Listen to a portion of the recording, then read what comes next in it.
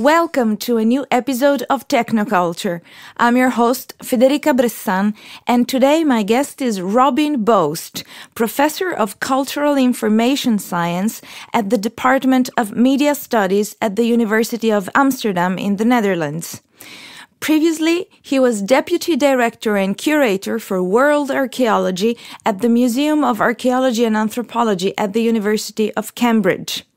He is the author of many publications, among which the book The Machine in the Ghost Digitality and Its Consequences.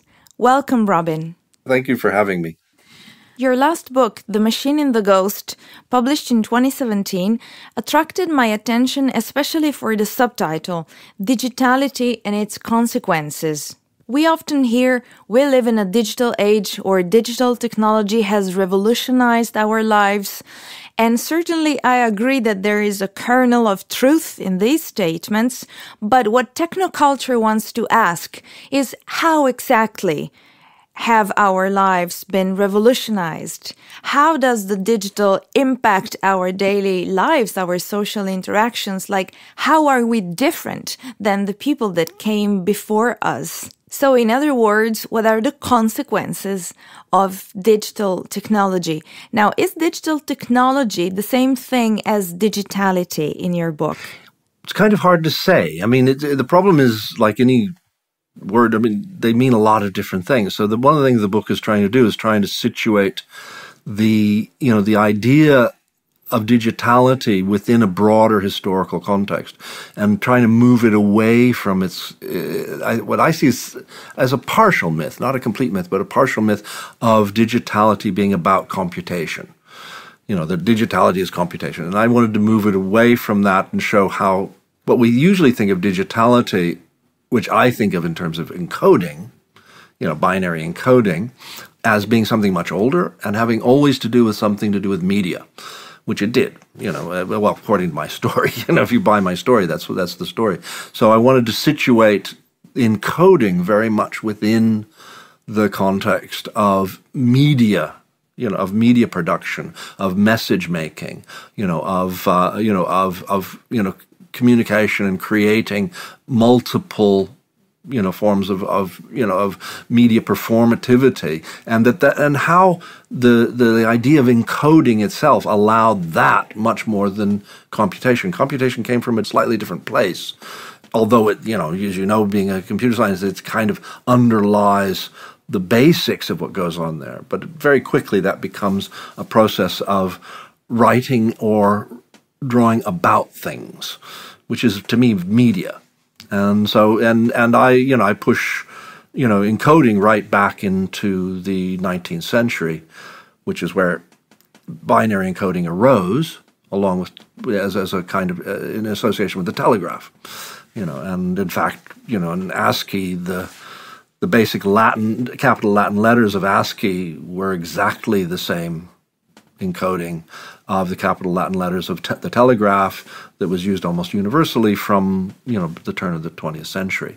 Uh, actually, that the encoding itself it comes from the 1870s, but it was modified somewhat in 1901 to 1902, and that became you know those letters became how we did telegraph. All telegraph was binary; it was digital in that sense until you know the you know till well from the First World War. When you say digital encoding, do I understand correctly that we are already one step ahead of just binary arithmetic? It's already an application, so we're doing something with it. Yes, yes, exactly. I mean, the Baudot code, where we get the word baud, right? In fact, it comes from Baudot, Emile Baudot, who was a telegraph engineer in France, um, who on his own back created a telegraph in the 18, early 1870s. I mean, more or less was finished by 1874 and was in use by the French by 1876. You know, in a line from Paris to Rome. Um, actually, there were a lot of different telegraphs, but I won't go into that. There isn't just Morse. Morse wasn't binary, by the way. Of course, it's one of the great myths. It's a five. It's a five phase encoding, so you know it can't be binary. But Baudot's coding was actually binary. I mean, it was a five bit encoding you know, that was punched onto tape as a five bit encoding. And in fact, continued to be a five bit encoding um, and was, I mean, by night, the turn of the century, uh, uh, someone put a typewriter on it and changed the, the, the encoding slightly, but it was literally a five-bit encoding, binary encoding. So in the sense that not only did the holes matter, but the non-holes mattered, right? So it was literally a binary encoding of each of the letters, and so being five-bit, it could accommodate 64 characters, and there were you know, there was a base and there was, there was even a Cyrillic version and so forth. And what people don't realize is that, you know, when you see things like Good Morning Vietnam, right, when the teletypes, that's using Baudot's code. Those were using the five bit encoding.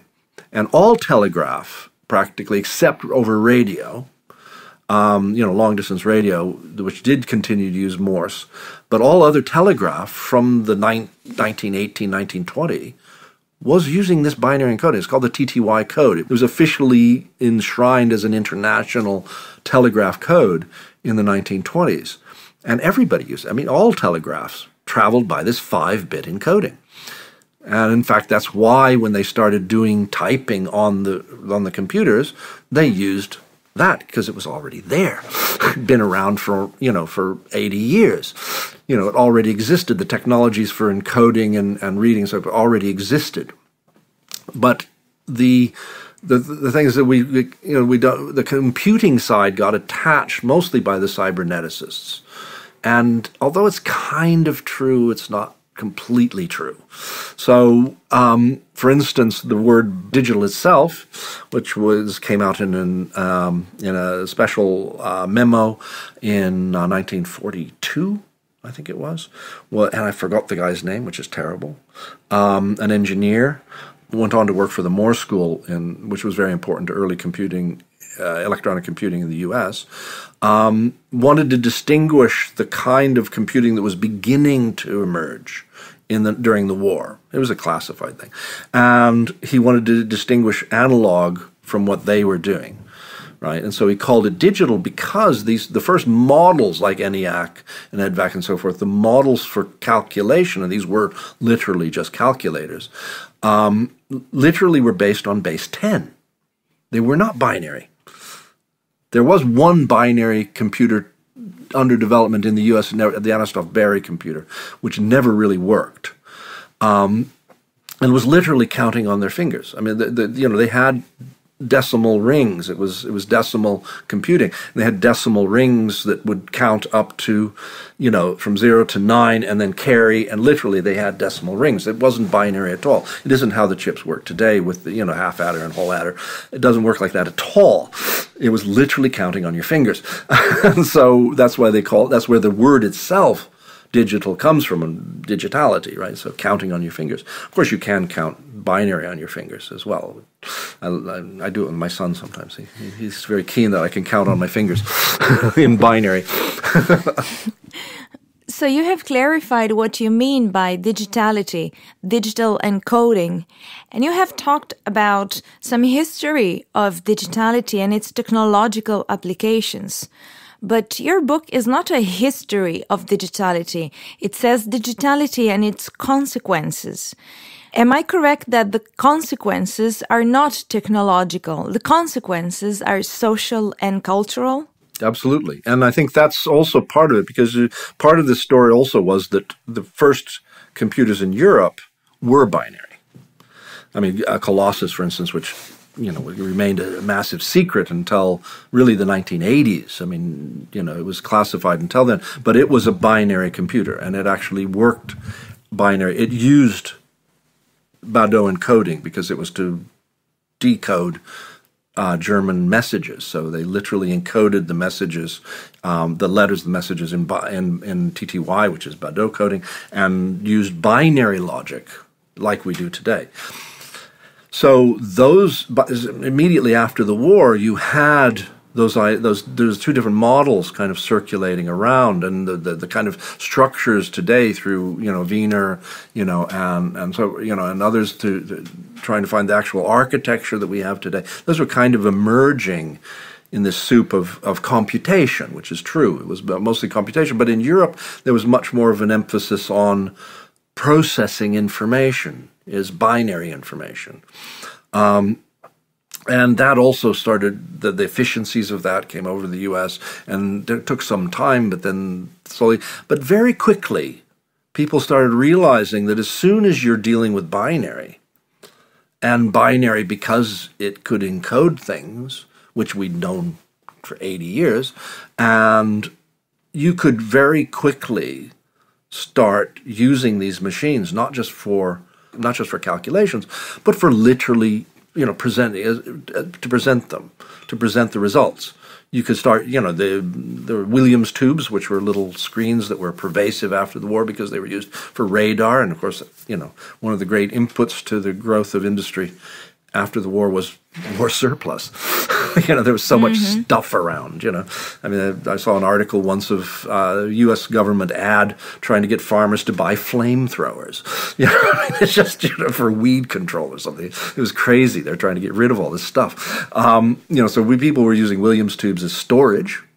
You know, as RAM basically because there was a you know it had a it had a delay of on the phosphors on the screen. It could be used as temp. It would be written and read and be and then they and very quickly it was Whirlwind actually, uh, which was an MIT computer, where um, they started using the Williams tube to monitor the, um, the the the tubes, you know, the the logic tubes, which they had instead of transistors because they didn't have transistors then, and um, they realized very quickly that they could actually use the screen interactively.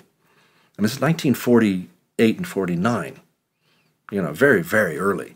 And so they start, you know, thought, oh, this is interesting. You know, we can do stuff like this, you know. And they actually, one of their engineers went away for a week and invented a light pen.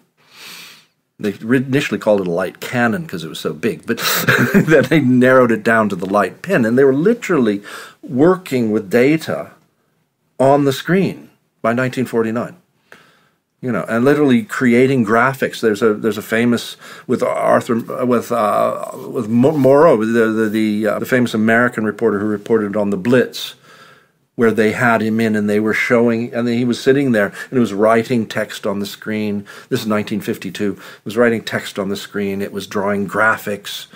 You know, and so forth, and imaging came very quickly. And because, and the point I make is in the text is as soon as you realize that this is actually a way of encoding media, that the two work together, and it isn't just about computation, then that's when the computer really started to expand.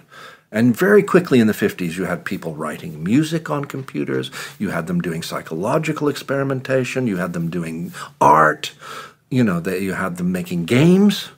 You know, um, you know, all of these things started just emerging from the universities in collaboration very, very quickly because it, be- because it was clear it was a media machine. What I can't wrap my head around is how do you go from observing the evolution of technology to the changes in society, which are much more subtle? What came into us? New concepts, ways of living, behaviors, ideas? And were these already present in society and actually produced the technology and then maybe reverberated back, creating a loop? How do you trace a history of technological evolution and make inferences on how society evolves? Well, I think, first of all, that is a very, very complex problem. But at the same time, if we think of it as, if we think of these things as computational devices, we wind up not attending to their role as media devices. And if you start attending to them as media devices, I believe, um, then you start noticing the kind of traditions that come out of media that actually are having much greater influence. I think the other thing is I don't want I don't think we should think of technology as evolving. It doesn't evolve. It, it goes on and, and things happen or they don't happen and it's all kind of chance. There's no plan. And so at any point, as an historian, I can see there's a whole number of possibilities that things could have gone down that route, but they didn't. They went down this one. And sometimes it's not a good route. Sometimes it's not the best of the lot. Now, to play the game of you know what if in history is a very dangerous game because you can't actually know. You know, it's very easy to know what did happen. Well, kind of easy to know what did happen, but um, it's impossible to know what could have happened. You just don't know; it's too complex. Um, but you can see at any moment that they, you know, if, if there was a plan, they would have gone, they would have done something else. But I think, especially in, in terms of looking at contemporary media, well, contemporary. Let's think in terms of social media, for instance. Well, what we're looking at there is something fairly familiar to media theorists and media historians, because it's media you know, if you think about what Google and Facebook and these do, they provide a service that that captures our attention. A media service. It's a media service, right? I mean, it's it's much more individualized. It's something that we interact with. It's something that we, you know, we provide content to. Not the only ones, but it's structured for us to engage and continue to engage. And that's pretty much what media always does, from newspapers to film to television to radio. It's it's drawing you in. Where before it was simply broadcast to you, now it's much more interactive. Okay, but it's still a, they're still media companies at the end of the day because what is their business model? To engage you and try and add an added level of data to try and understand your desires so that people can sell you stuff. Are you saying that Facebook and social media are not qualitatively new, are not very different than what we've had before? I'm saying it's not it's as a business model, it's a pretty standard media business model. It's you provide a you provide a, an engaging service to someone so that some someone else will pay you to put their adverts in front of that person to engage them, you know, to try and get them to buy things. That's pretty much the you know the television and radio model. I mean, it's you know okay, the kind of thing that's going on, we don't want to be naive either and say, oh, it's just the same thing. It's not just the same thing. Digitality actually, and we can get into this a little later, is actually a very different kind of medium. And, the, and that's one of the consequences I drew out in the book, or started to draw out. It is a very different kind of medium. And that does have very significant consequences. But if you think, one of the interesting things that I think about contemporary digital media is that we've moved from a position in the 70s, or certainly the 80s and early 90s, or mid 90s, say, from a place where digitality, I think, was beginning to, to open up opportunities because it's digital, to a situation that is pretty much locked down in corporate media as it was before okay, we have a bit more interaction, but not a lot. I mean, we have no control over how how our or very little control over how we can use or what we can do on you know on on Facebook or Twitter. We're pretty much locked into their model because they want us locked in because that's how they generate their data to generate advertising revenue. You know that's the goal. That's the goal we're sitting here doing a podcast interview. This is actually allowed by digital technology because the equipment today is portable, it's light, it's affordable. It's affordable to set up a podcast. Actually, it is like a radio program, but I, as an individual, can produce it and put it out there for the world to listen. This is a consequence of this type of technology and how affordable it is today. So is the podcast a consequence? No, the podcast is the technology. So are you and I sitting here the social consequence? Yes, absolutely. Because of course, this is one of the differences that digitality has brought. It has lowered the bar massively to actually create media. But of course, this also makes the point, which is that it is a media machine.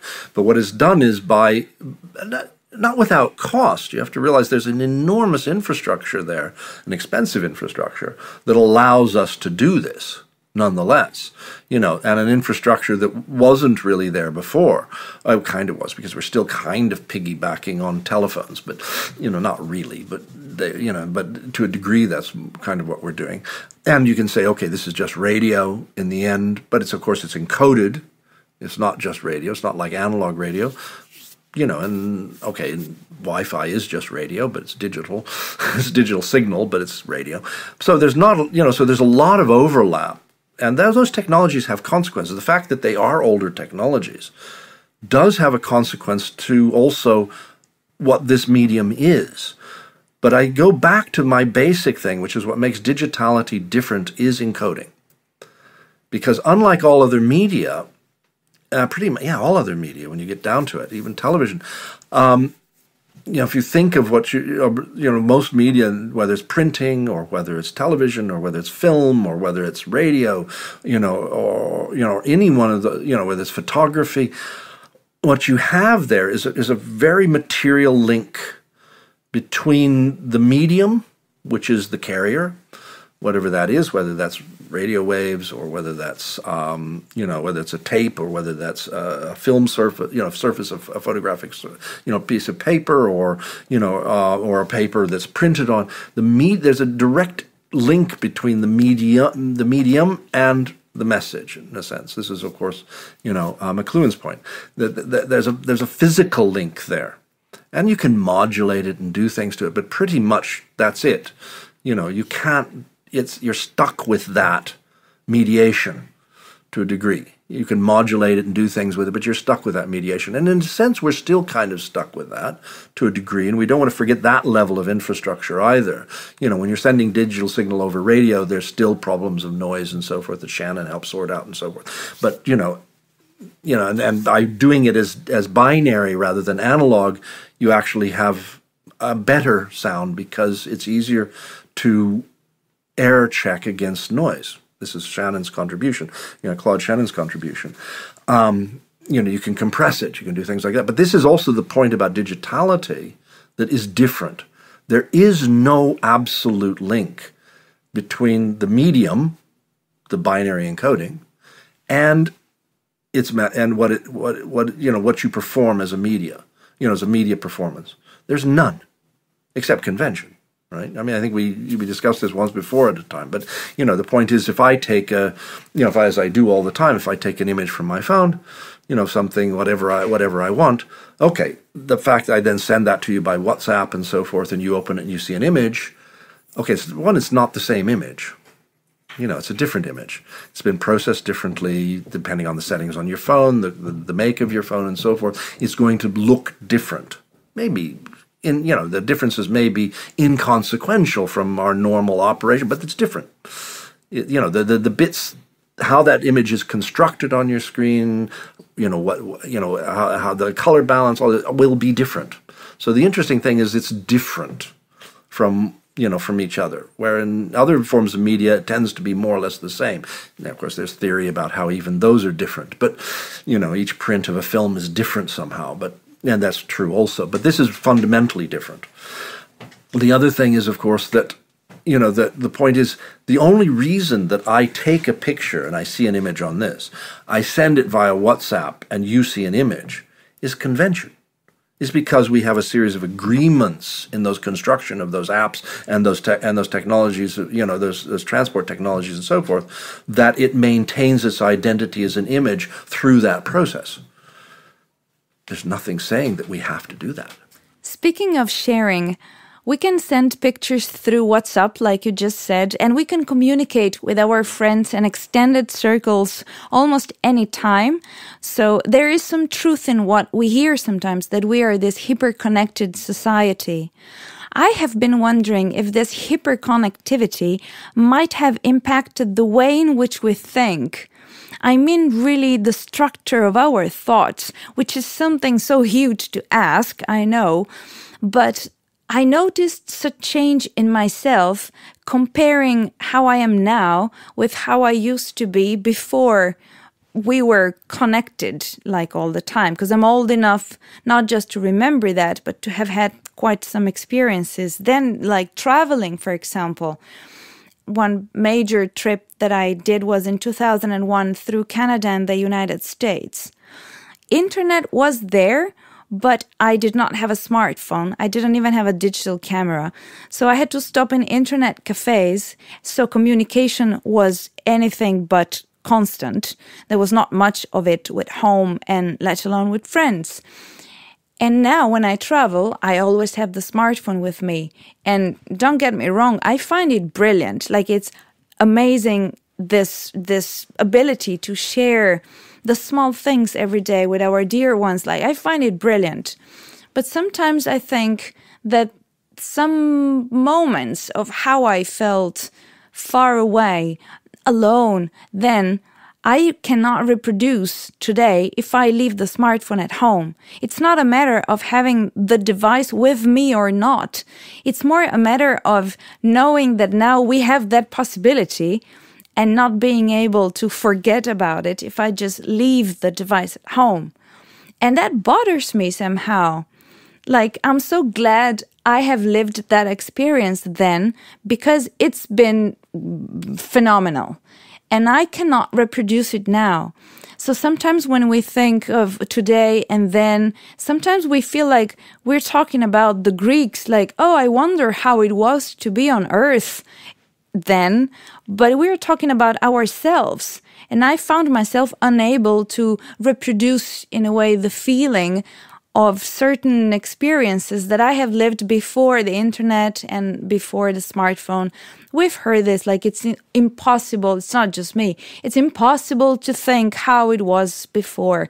Why? How? How has this impacted the way we think? I always feel my friends close to me, you know, in a way. I have this ongoing conversations. So wherever I go, this changes the way I look at the world. This is what I want to say, although it's very confusing. And I'd like you to say something about this social change, which is not just technological. No, it's also technological. It's also technological. Sorry, we came a little fast there, mm. but um, you know, it's it's also technological in the sense that because you have the possibility. I mean, sharing is something humans do anyway. We share, we communicate. We're communicating. Animals, many animals, almost all animals communicate in one way or another. Even they have even language to a degree. You know, um, so it's not unique to us. Um, I read the theory the other day that the only thing that's unique to humans is cooking. the only thing we do that no other animal does is cook.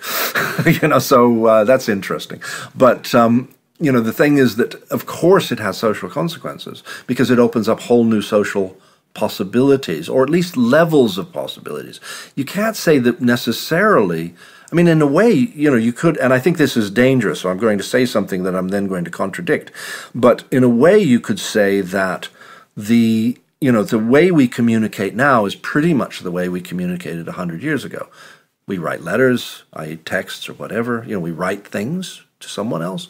Um, they write back. We send images to each other because of you know when there was photograph or you know at least you said drawings and things you know okay but you know we communicate visually we communicate and, and every technology has its own imp- yeah, its own consequences on you know on how you see the world of course. Um, that's why i'm contradicting myself because it's not that simple you know but at the same time you know it's not like we're doing anything radically different we are doing it at a scale that's radically different it is a hyper mediated world and it is something that is immediate you know and but those immediacies are also relative i mean if you think of the immediacies of what happened once telegraph came in in the end of the 19th century, especially the early 20th century, when it started becoming a little bit more affordable. You know, for for someone, if you know, if you have, you know, one of your members of your family goes off, went off to Australia, you know, at the end of the 19th, uh, in the mid 19th century, you know, to for them to send you a letter took two months and then for you to read it, and if you send it back the next day, it would be another two months before they got it. So the the the, you know, the message and return message was was a third of a year before you could communicate with each other. Still people wrote a lot of letters. They wrote a huge number of letters actually, um, but it took that long. I mean, you know, as much as you could afford, because um, it was expensive. Also, then the telegraph came in, and you could send a telegraph and receive it within a day or two. Okay, that was an incredible collapse of time of communication. And there was and the similar talk existed about, you know, its effects on society. This is partially one of Kittler's main points you know, and um, you know, the, the, there was the same kind of talk around how it was destroying our ability to communicate, how it was destroying the the, the, the art of letter writing, how it was just you know how it was collapsing, how it was positive as well and collapsing communication, maybe bringing people closer together as well, you know, and so the, and the same conversation happened when the telephone became more ubiquitous, you know, and there was the same problems also then of of teenagers spending too much time on the phone, you there was national debates, you know, and, and you know, debates in, in, in government about how much time teenagers were spending talking to each other on the phone rather than going out and doing things, just like we say now of kids spending time on, you know, on computers, you know, and playing games, you know, or, or texting each other. The same kind of conversations happen. That doesn't necessarily mean it was in, you know, the both aren't necessarily detrimental per se, but the same, you know, you've had this ongoing collapsing of, of, of connectivity and this on, ongoing, you know, almost exponential growth in mediation. I mean, mediation and literally producing producing levels of media, and to a degree, a democratization of that. Of course, we also see the dangers of that, right? I mean, a democratization of information also leads to a lot of you know, misinformation, you know, or information that is at least difficult to assess.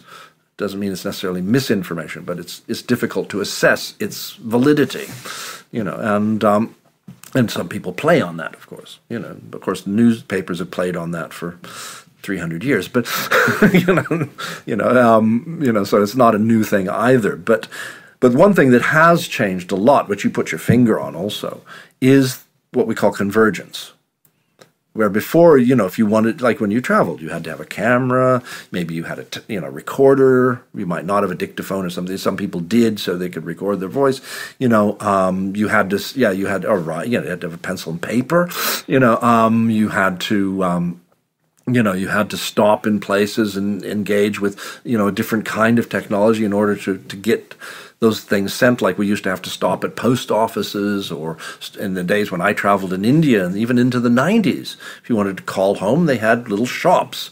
And you went and you gave your number, and you know, and they, they would they would dial it up. You went into a little booth with a phone, and they'd dial it up, and you'd get an answer, and it'd ring, and you were able to talk, and you paid for the time. It's the only way you could call home unless you were in a very expensive hotel. you know, so that's how you communicate. Yeah, it feels like we're talking about a different world, but it was just a couple of years ago. The trip I mentioned to Canada and the US, that was in September 2001. So on the 11th, I was in Los Angeles and it seemed in order to let my dad know that I was alive. And I had to find a public phone and queue, and the lines were so busy that it wasn't obvious that I could get to speak to my dad. So communicating was not just not that easy, but not even obvious. Yeah. Communication was possible, but it was much more difficult.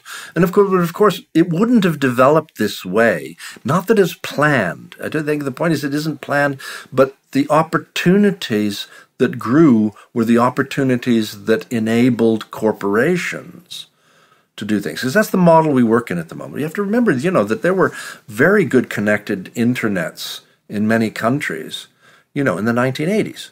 Think of Minitel, or there was also a Canadian one that was very good. Um, you know, and, and, at least in, in, in France, you know, where you had you know, where the government literally gave anyone who walked into the post office with a with a bill proving their address, they gave them a terminal for free. You know, and it did. You could book tickets on it. You could get up news. There were the pink rooms where everyone kind of was a kind of you know chat sex rooms, you know, and um, you know, there, you know, it had all those. It had apps. People were allowed to develop apps for it. You know, they had all that kind of stuff in the 1980s. You know, and it was government run. It was run by the, the National Post Office, which was part of government.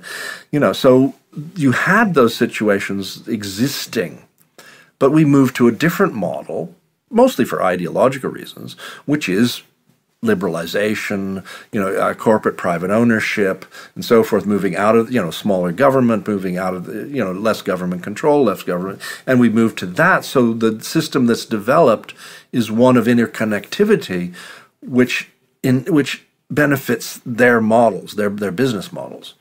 And so we do have massive connectivity because it makes the money. So far, you have stressed what is not new, what we still share with our past, what has not changed. But then, what is new? What are these consequences of digitality? Well, that's interesting. I think what's new is, is how we use the media, the fact that there is convergence. This does have social consequences. The, the consequences that we are being asked to engage in very specific ways. We don't have a lot of freedom. I mean, you do. I think this is what, you know, Alan Kay makes this point even today. You know, luckily, knock on wood, you know, the great man is still alive. But, you know, until we're all coders, none of us will be free of this medium. Only coders are, have freedom in this medium because they can literally make the things. And this is my point earlier, which I think is really the fundamental liberating aspect of digital media, which is there is no connection between the encoding and that. You can do anything with the encoding. And of course, this is the power that the corporations use it for. Because they can, you know, because eh, eh, it's not just that your words are data. It's not just that the images you take are data. They're data because they're encoded. Because they can, you know, they can literally take that and turn it into data very easily. You know, very, very easily. So an image no longer is necessarily a direct, you know, is no longer a picture of something, you know, which is which is not a representation anyway. I'm very anti-representational theory, but you know, in, in any media, but you know, but it's you know, it's no longer a picture necessarily of something. It's a set of data. It's a set of you know of, of encodings that you can process in any way you want you know, whatever your problem is, however you want to deal with that, whatever algorithm you want to bring to it, whatever model of knowledge you want to bring to it about how images make meaning, you can pull that, all those pixels, all those, you know, those 32 bit pixels apart, pulling the bits out of the pixels that you want, you know, deciding what, you know, what matters and what doesn't, what is important about, you know, whether that, you know, whether you want to deal with that as a direct re- reference to color or something else. There's a there's a good theorist in the U.S., uh, Lev Manovich, who plays with this all the time, you know, and um, he has a wonderful graphic that he did, which is just a series of lines of of different you know uh, you know of different colors. You know, each line is a different color, a different set of colors, just lined up. So, you know, depending on the proportion, what he did was he took the covers of Time magazine over the last 80 years and just stripped out their color, you know, their color, you know, the, the, the, color proportions and just made them into a line. And so you can see the last 80 years of Time magazine colors, color, how they used color. Okay, is it meaningful? Probably. Is it very meaningful? I'm not sure. Um, but you can, you know, you can do anything like that. And that's something that is not impossible in other media. You can do that with a photograph, but imagine the work. You know, it is effectively impossible because it just would take far, far, far too much work. You know, you would, and also the medium itself doesn't lend it because it's not encoded in that sense. It's literally just looking at what the colors are. You know, for instance, if you, you know, you can say, you know, that on an image, you want to say, okay, what happens when we turn this image into sound? And then we want to make that into we want to take that as data and kind of see what happens to understand images when they're processed and analyzed as sound. You can do that. It's easy. In digitality, it's super easy sometimes we speak about society as one thing. And even in history, society goes through these transformations almost as a lady with a personality that changes. But in fact, society is made of generations of people that are born and die and have their limited experience in time.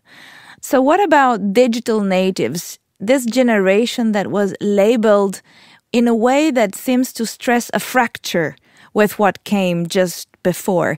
Are they a thing for you? Is it a category that you consider? Well, I think you can't not consider it. I mean, it's like saying, you know, that we're the people, you know, at, you know, from the 1920s on, especially in the middle of the 20th century, were they different from their parents or their grandparents who didn't grow up, you know, going and seeing films three times, four times a week? You know, and that kind of sociality that that created, of course, it makes an impact. Of course, born, you know, the, of course, what digital are they born into? You know, it's not the digital I was born in. I've been working on digital technologies. Okay, not since I was born. When I was born, you know, there's probably less. There's probably only about a couple of thousand computers in the world. But um, you know, I, have been working on computers, you know, and and and digital digital technologies since 1973. You know, it's a long time. And in the, the world I grew up in the 70s and the 80s is very different than today. The digitality I was working with was much was much more kind of artisanal.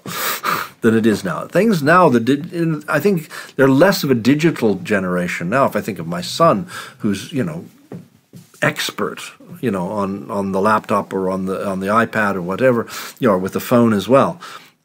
But he doesn't engage with digitality. He engages with the media. He's he's engaging with the apps and the media performances, and in that sense, that's different. I mean, because there's it's gestural, it's interactive. There's different things. There's there's interaction with other people online, so it's not the same as engaging with a film. Definitely not. It's a completely different kind of engagement. Although sometimes he's being film-like. He's engaging film-like when he's watching YouTubes and things like that. So he's not in. He's you know he's literally just being film-like in a way. Um, but there's differences.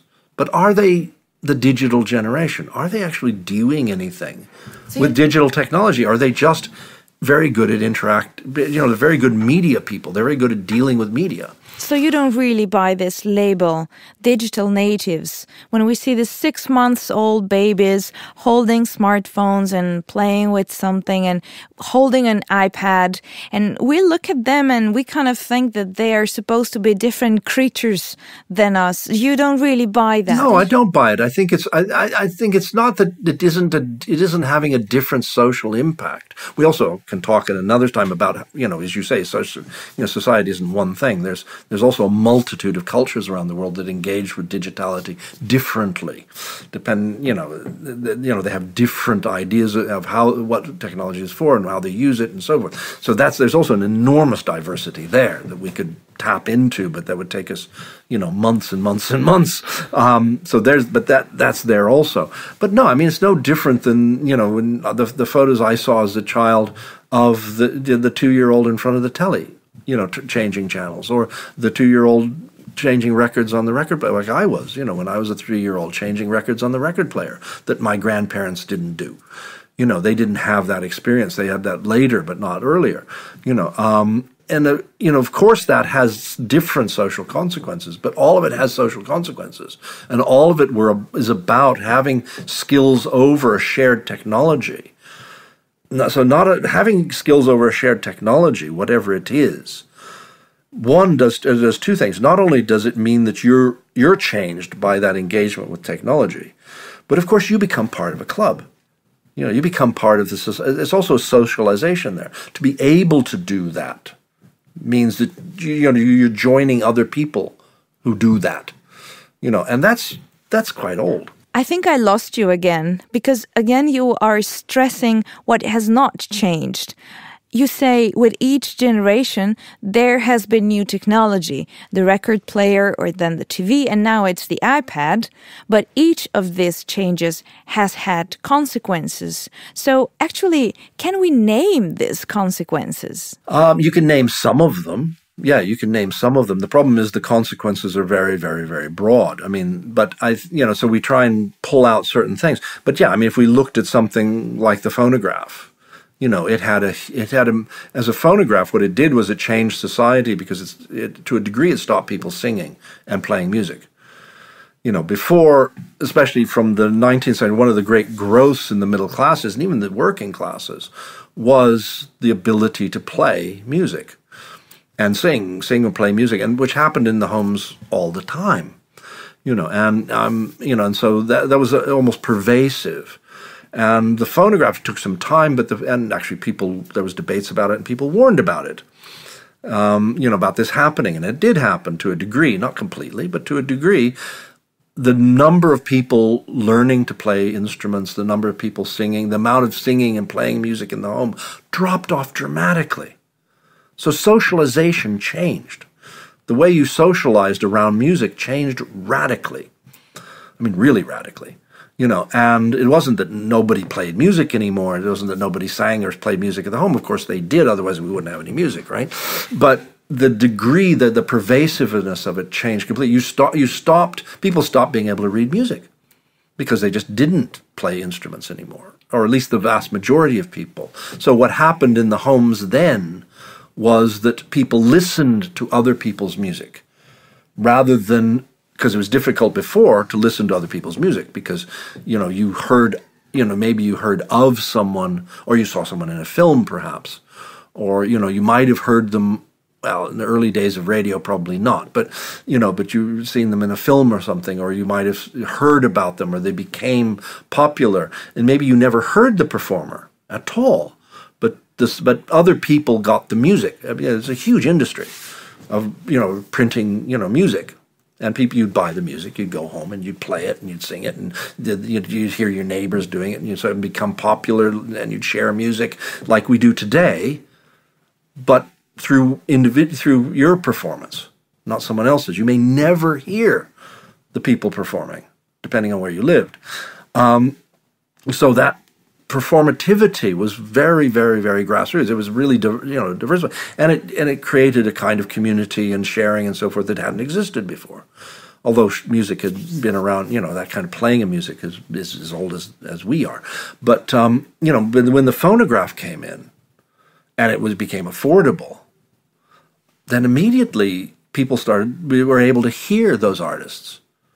So they stopped playing, or not completely, of course, but they stopped playing.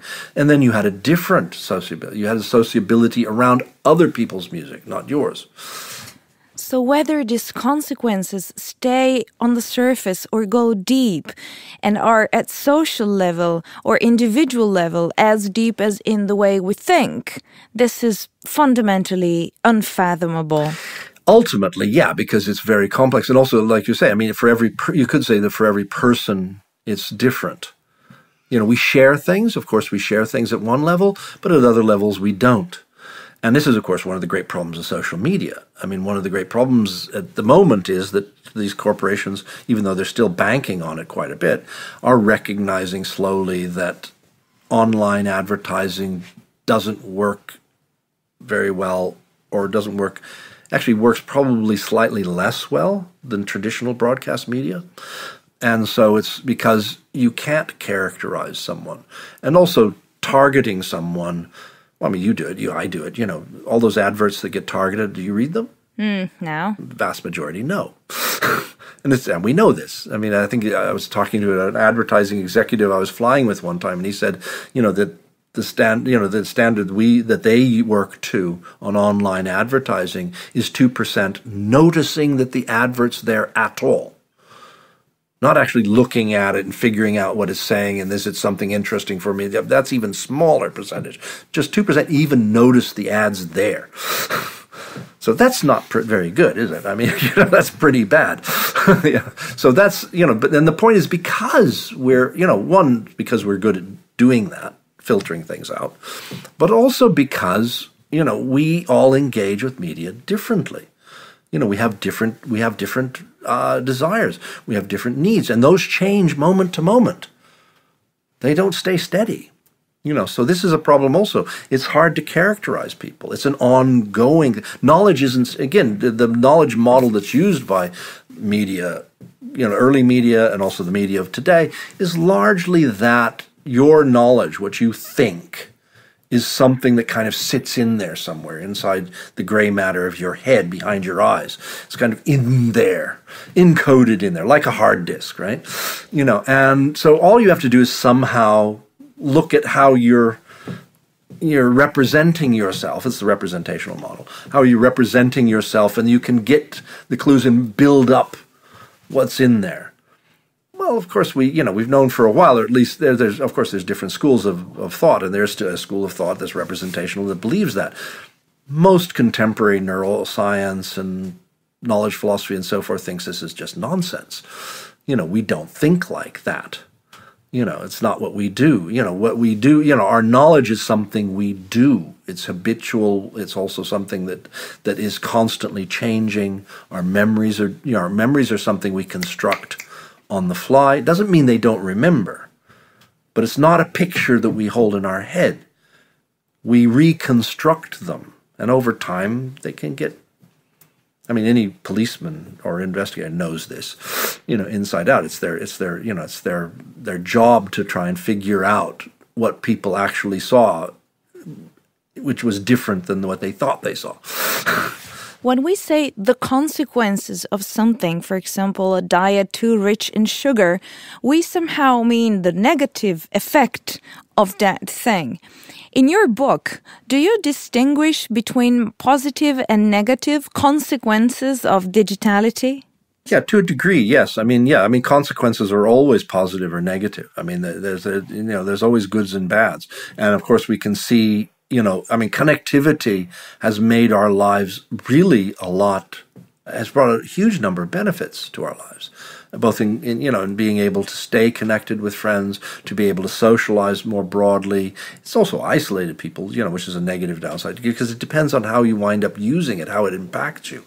But um, you know, it, you know, the fact that I can, you know, you know, if I'm worried about my wife, I can just call her.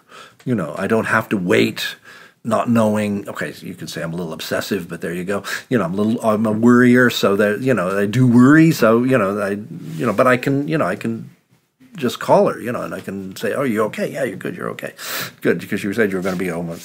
Being Italian, you know, she said she was going to be home an hour and a half ago, and she's still not home. You know, so you know, and so I call. You know, Where are you? You know, are you okay? You know, good. Okay, just want to know. Uh, but I can do that. You know, and even when she's traveling, you know, it's easy.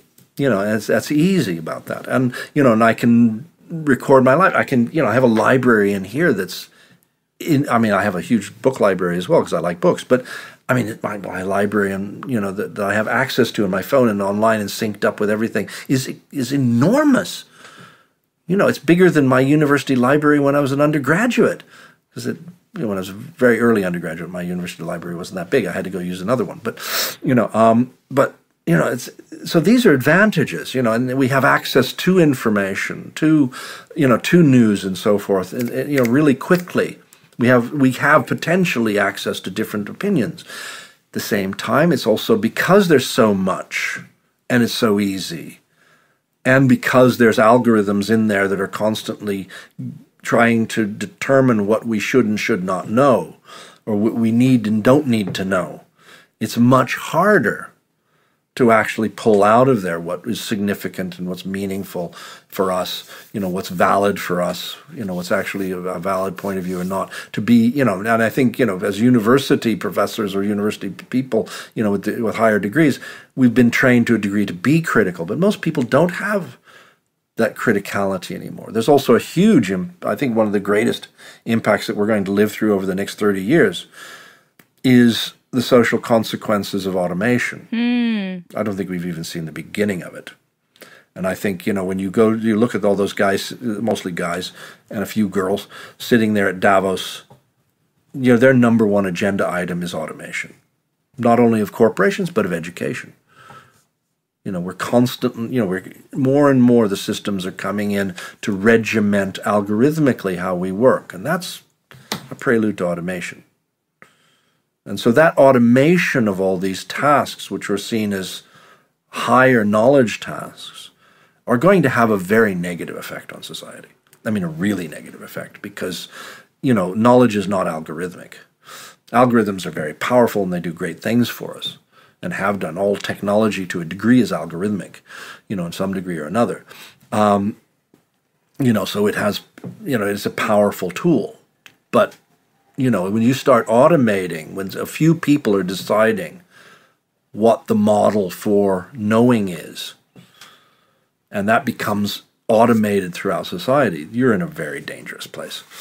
So, if I heard what you said correctly, we don't have good consequences and bad consequences. We just have consequences, and each of them can be looked at from two different perspectives. For example, we have lots of news this is not good or bad. This is good because we have lots of news, but this is bad because we are overwhelmed by the amount of news. So ultimately, technology is neutral, like some say, and what is good or bad is just the use we make of it. Is is this correct? Yeah, I don't. I think that's a little bit of a simplistic model. I think it's not that technology is neutral neutral. It isn't. Of course, every technology offers you a set of possibilities.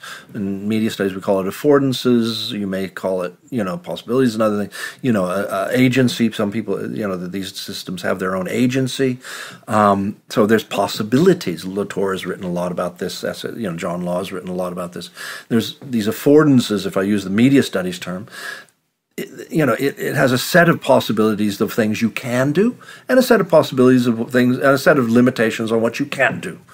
You know, there's things that it allows and things it doesn't allow. Okay, so those affordances, but those affordances can be used positively or negatively. You know, and that's a social choice, and that's a choice by governments, but also by us. How we use it, what we use it for, what how what we do within those affordances, what we allow those affordances to do where we allow control on those affordances, where we don't allow control on those affordances, this will have social consequences because those are social actions. Those are social choices. The technology is not making those choices. The technology does not make a choice. Digital technology does not make a choice about what an algorithm does. The writer of the algorithm makes those choices. The algorithm plays out, even if it's a machine learning, even if it's a learning algorithm, the designers of that algorithm are the ones who made those choices. Those are social choices. Those are choices about what is and is not knowledge, what is right and what is wrong, you know, what is acceptable and not acceptable, what is what is good for society and bad for society. You know, and they're making those choices. And that's where we have to get these things disentangled. You know, yes, the technology has limitations and, and possibilities, you know, and so forth. You know, of course it does. And and the, the affordances can drive to negative effects you know, you can say, you know, a gun ultimately, you know, is for shooting a projectile at high speed, it, you know, and it tends to be uh, in, in packed with something that's living that is going to be dead. You know, I mean, okay, it doesn't have to be used that way, but that's kind of the reason for it. You know, I mean, it's it's it's okay. You know, that's a strong agency of a gun. You know, and so you know, if you have guns, you know, chances are they're going to mostly wind up fulfilling that agency. Um, not you know the, again it's in someone's hands or or someone's put it in an automatic system or whatever you know but it but you know at the same time i mean when we we put things into when we create things when we create technologies when we put them into into settings and we we distribute them and and and, and put them to use in society these are social choices. These are not technological choices. These are social choices that people are making somebody somewhere you know and that's we you know and that's where the good and bad comes from because it's good or bad social choices. Concerning the use of technology for social control ultimately you've just said that you don't see good things happening in the future. Are you a pessimist or you actually think there is hope like we have the possibility to make social choices that saves us somehow from this loomy scenario? I'm a little bit of both, a pessimist and all, but I have a great faith in people, ultimately. I think in the short term, not always. You know, people can be doing really stupid things. I've done really stupid things. You know, I'm no different than anyone else in that way. We can do really stupid things. But ultimately, I think people as a whole um, wind up trying to bring society back to you know because we're social beings. We like society to work. We like people to be happy together mostly. You know there's dysfunctional people as well but generally we're happy with that. That's we prefer that to conflict you know and um, so i think ultimately people try and bring it back to some sense. You know i'm probably pessimistic about the ability of our leaders be they in the corporate world or in the you know in the governmental world or, or even in the governance of universities doing that for us. I'm very pessimistic about that. I don't think they have the competence to do it. And I don't think they have the, I, I think their desires do not align with the needs of people. And so in that, so in that sense, depending, you know, I think it's going to get worse before it gets better. Hmm, so people stay awake. It's even us discussing this right now. Exactly. Can you explain the title of your book? Ooh, yeah. I mean, the, the, the, the, the reference is very straightforward. I mean, I, am not sure if I'm happy with the with the subtitle. You know, uh, you know, digitality and its consequences. That was a kind of a compromise between me and the, the marketing people at the publishers. Um, the Machine in the Ghost is a direct reference to Gilbert Ryle's philosophy, you know, on the Ghost in the Machine, which is a, you know, which is still one of the best critiques of you know Enlightenment dualistic philosophy, idealism, and you know that there's you know there's the world and there's some ephemeral thing which is our minds, you know, um, and the two never meet, you know, um, except through some veil that they talk through. This, and the representational theory is based on that, and that's why I chose it because Gilbert Ryle very successfully critiqued and debunked the representational theory of knowledge, and he talks of the ghost in the machine, right? our body's the machine, the mind is the ghost, you know, and that this is just a nonsense. So I wanted to keep the nonsense of it, but turn it around because we talk of digitality in the opposite way. You know, digitality is, you know, you know, digitality or, you know, we talk about it as being virtual, you know, it's somehow, you know, everything that goes on in the digital world is, is, is non-material, it's kind of ephemeral, it's conceptual, you know, which is nonsense. Okay, you're a computer scientist, you know, it's nonsense. I mean, it's all a machine, you know. I also work with intangible cultural heritage, the dances, traditional knowledge, cuisine. It's things, yes, intangible. Yes, I mean, it's about as, you know, it's, it's more tangible than the tangible heritage, you know, which we take and take out of context so that it winds up being dead. You know, so intangible heritage is the more tangible heritage, right? you know, it's something people are actually doing. You know, it's it's performance. It's it's in the world. Um, and so I wanted to also, in some degree, debunk that idea that you know that you have this you know these machines that somehow you know that there's this ephemeral thing this, this this ghost you know which you know I wanted to put the machine back in that ghost. So I said the machine in the ghost, which is the reverse of Gilbert Ryle. He talked of the ghost in the machine. I talked of the machine in the ghost. I wanted to put the machine back in the ghost of virtuality. You know, these are machines. They're doing mechanical work. Okay, electro, electromechanical. They're doing that. There's you know, there's a process going on there. You know, and um, you know, and and the point is that it's it's invisible to us and be, and the only you know the only ephemerality of it is because it's invisible to us, but it's not ephemeral. It's very it's very physical. You know, it's very physical. Uh, you know, it's material in the world. Okay, even if electrons flying down. I mean, it's all you know control. It's all switches. You know, in the end, it's just a bunch of switches, right? We know that. okay, the transistors, but transistors. You know, it's just a bunch of switches going on or off, certain logical orders. And but then the you know the cleverness comes in how you build on top of that, how you write to screens, how you you know make sound. Of, you know, it's all very. It's all incredibly clever. It's phenomenally clever you know, but it's just a machine. you really ruin the party to those who like to come up with these labels. Did you know that besides intangible, there's also e-tangible heritage? yes, they love these things, don't they? I mean, yeah, because it fits that knowledge model, right? Which Gilbert Ryle debunked. I mean, ages ago. I mean, when did when did the, you know, when did his book come out? I mean, I'm trying to remember now. It would have been in the '60s or '70s, you know. And um, I forget these things all the time, but. Um, you know, but uh, you know, it it fits the representational model. So, you know, if you accept the representational model that there's some mind in there, that knowledge is this ephemeral thing that exists out of materiality, then, you know, eat intangible heritage makes sense. You know, but if you don't believe in that, it just sounds like nonsense. you know, um, you know, because you know, if, if knowledge is something we perform, it's something we do you know, which doesn't mean it's easy, doesn't mean it's not conceptual. You can talk of con- concepts and things as something we do. You know, then it becomes a very different game altogether. I have one last question for you that broadens the scope of our conversation in a way. Tell me if you're comfortable answering this. When we speak of technology and digitization of society and all of this, we normally think of ourselves we lead the transformation, etc. But the world is a big place and the world is a diverse place. So, not necessarily in your book, but in general, do you consider how the consequences of digitality might not be there yet for some people, or rather might be impacting them differently because of the conditions in which they live, because of who they are?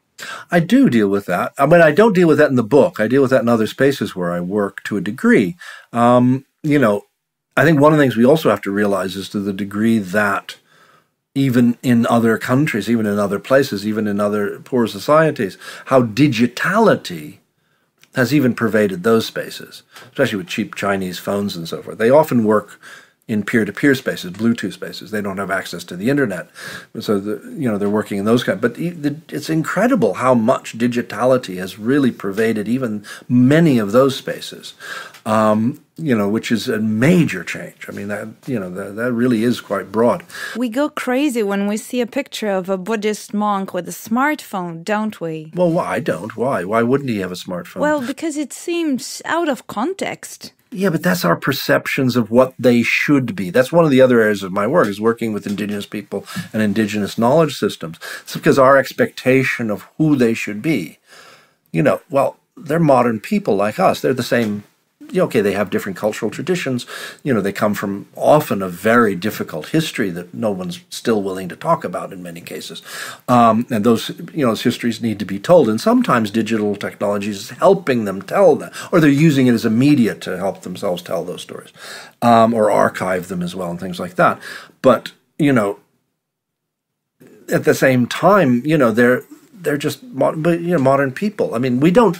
You know, my my mother was Irish. I mean, I you know I was, you know, we were colonized. We fought a colonial war. You know, why? You know, we were ethnologized. You know, my wife is from southern Italy. There were still people doing ethnographies in southern Italy in the 1970s. You know, okay, it's not the same thing as as the as what the Australian Aboriginals or North, the Native Americans or First Nations people of North and South America suffered. That's on a scale completely different. You know, and I'm not pretending that that's that's somehow equal, but you know, we don't look at an Irishman or an Irish woman on a phone as though that's something so weird. yet, uh, you know, you know, yet the jokes of the Irish that you had at the turn, you know, beginning of the 20th century would have played that same game. Irish were classified in the United States until the 1930s as black. You know, so you know, it's our in continuing colonial expectations about these people you know that the that the person in you know in Papua New Guinea in the backcountry who has a mobile phone because they can which have absolutely no possibility of access to the internet because they're too far away from anything unless they could get satellite and some of them do by the way have satellite but um, you know but who often use it to communicate when they're crocodile hunting by Bluetooth. And they use the lights also because they're really useful for dazzling the crocodiles. You know, that, you know, why shouldn't they be using this modern technology? an overview, even a history of how digitality is impacting different cultures around the world, how it is being received, would be very interesting. Because the trajectory of some technology seems to be from the first world to the rest of the world, do you think, and this is a provoking question, that it can be seen as a form of white male colonization through technology, technological colonization? No, it's not that simple. Although you cannot separate completely the the fundamental aspect of new digital technologies as archive from the colonial program. I mean, the, the archive is a technology of colonialism, and of course, modern surveillance and modern, you know, even the even the business model of Google and Facebook and so forth is ultimately a colonial program. It is it is gathering information about people so you can control them, and that's was a colonial it was a colonial invention of how to use the archive, and the archive was okay. It was paper archive is paper and you know an image and drawings and maps and so forth. But the you know the archive was a central technology of colonialism. Colonialism couldn't have happened without the archive. So that sense, the technology itself is still culpable, very much culpable, in the colonial program. But at the same time, you know, that doesn't mean that we, you know, that it can't, like the archive itself, also was able to you know the archive itself, even in its in its what we think of as a normal form, right? The the building with papers and so forth, also acted as a point of liberation for many people. So yeah, I mean it's this compli- it's this complicated thing, but no, it isn't so simple. You know, the internet is not well, maybe the internet, you know, but I mean, digital technology is not just white, it's not just male. Though these days, for a period of time, it was heavily dominated technology, you know, by the, the coders in that sense. But we also remember, you know, through the 50s, 60s, and even into the 70s, there were a huge number of women involved in computing, massive number of women involved. Not unproblematically. It's not that they were treated equally. There were some very brilliant women who made some incredible breakthroughs important contributions at the time. Were they treated equally and fairly? No. you know, no, they weren't. But you know, still they had that. You know, that because you know, computing was mathematical, and women had more of a chance as soon as it became engineering, you know, of course, what woman in her right mind would go to an engineering department? you know, so that that changed. You know, I'm, I'm, not casting aspersions in your direction, but I think you understand what I mean. you know, uh, but that's changing also now. But I don't think it's, I don't think we can make it that simplistic. But yes, is is what we see going on in social media today have, you know, strong ideological and social connections to colonialism? Yes. Yes, it does. And it still does. And we still have not resolved that socially in our, you know, for what we're doing. Absolutely. Thank you. Thank you so much for your time. Thank you for listening to Technoculture. Check out more episodes at technoculture-podcast.com or visit our Facebook page at Technoculture Podcast and our Twitter account, hashtag Technoculture Podcast.